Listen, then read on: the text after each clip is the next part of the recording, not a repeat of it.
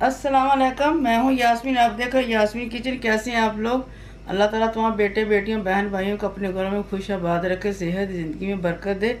सबसे पहले बिस्मिल्लाहिर्रहमानिर्रहीम, ये तीन मैंने ली है, ताज़ी हमारे आजकल ताज़ी आ रही है। ये ताज़ी वाली मैंने तीन ऐसे ली है तो इसकी मैंने चार ये काट ली। इसका जूस बनाएँगे। तो एक मैंने ग्राइंडर ले लिया, इसमें डालेंगे। थोड़ा सा ये काजू है और चार मगज़ और बादाम, ये भी डालेंगे, हल्दी है, ये भी। तो थोड़ा सा दूध डालेंगे पहले इसको ग्राइंडर कर लेंगे, फिर इसमें बर्फ़ डालेंगे चीनी आपकी मर्ज़ी है, डाल लें। आपकी मर्ज़ी नहीं है तो नहीं डालें। तो खुद मीठी इतनी होती है।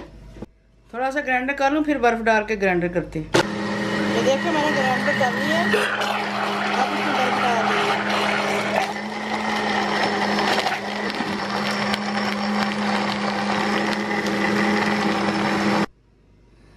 ये देखें जी, हमारा जूस बन के तैयार हो गया।